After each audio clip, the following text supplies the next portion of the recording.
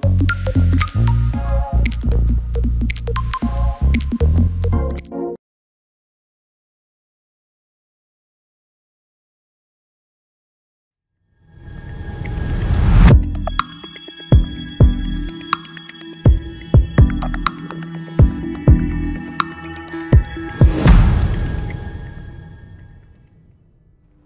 Bonjour à tous et bienvenue sur boursicoté.com pour cette nouvelle analyse technique du CAC 40 en point matinal. Et donc dès ce matin, eh bien, nous avons un gros signal d'invalidation de la poursuite du mouvement haussier que j'évoquais avec vous jusqu'à hier soir, puisque nous avons ouvert ici sur un gap baissier et que le CAC 40 eh bien, se dirige vers sa zone de support des 4910 points. Donc globalement, on avait ici un signal de poursuite du mouvement.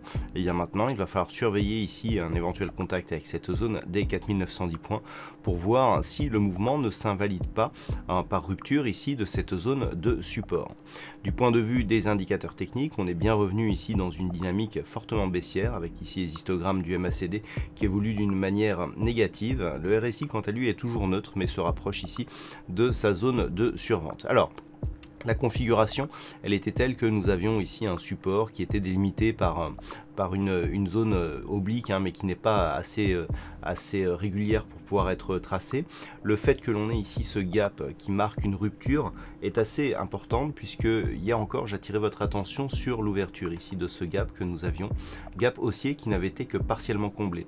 Le fait que l'on ouvre un gap baissier euh, sur les mêmes zones, hein, c'est-à-dire la zone ici partiellement ouverte eh bien, est englobée euh, dans le gap baissier qui est ouvert aujourd'hui, est un signal assez important. Alors déjà nous avons un petit gap de rupture ici par rapport à la dynamique qui était haussière. On casse cette dynamique haussière sur un gap baissier, donc c'est un gap de rupture, la forme de gap la plus puissante qui, qui peut impulser des mouvements majeurs. Par cela, on vient ici attaquer fortement la bande de Bollinger inférieure, on se dirige vers la zone des 4910 points.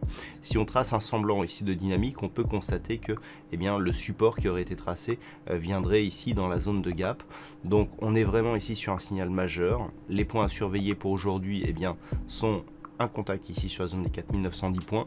Une rupture, même temporaire, de ce support serait un pré-signal baissier relativement fort. Une rupture assumée, à savoir en clôture, eh bien, nous donnerait un signal de retournement par rapport à une dynamique ici eh bien, qui pour l'instant était, était toujours haussière. On avait donc cette première impulsion, ce mouvement de, suivi. On peut noter d'ailleurs qu'à aucun moment eh bien, sur le CAC 40 on a eu une rupture ici de, du précédent point haut euh, qui avait été marqué ici au début du mois de juin. Le fait ici de, revenir sur cette zone des 4910 points, si on casse cette zone, eh bien, pourrait nous donner un signal de poursuite du mouvement en direction de la prochaine zone de support ici des 4700 points.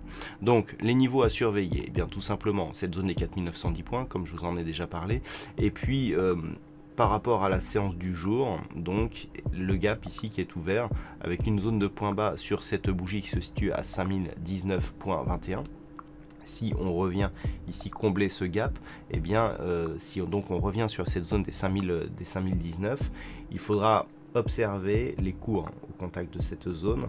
Si on a une poursuite du mouvement ici à la hausse et que l'on clôture au-dessus, le signal sera amoindri puisque en fin de journée il n'y aura pas, il n'y aura plus de gap donc qui reste ouvert. Par contre, tant que ce gap n'est pas comblé, on a ici un signal de retournement et de baisse potentielle.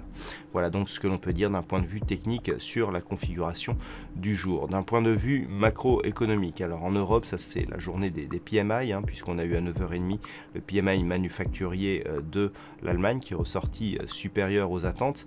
On aura le PMI manufacturier de la zone euro donc qui sera dévoilé à 10 heures et le PMI de la Grande-Bretagne qui sera lui dévoilé à 10h30. Du côté des États-Unis, nous aurons les chiffres de l'immobilier qui seront dévoilés à 16h. Voilà donc pour cette séance et cette fin de semaine. Passez une bonne séance. On se retrouve dès ce soir pour d'autres analyses techniques, toujours sur le site boursicoté.com.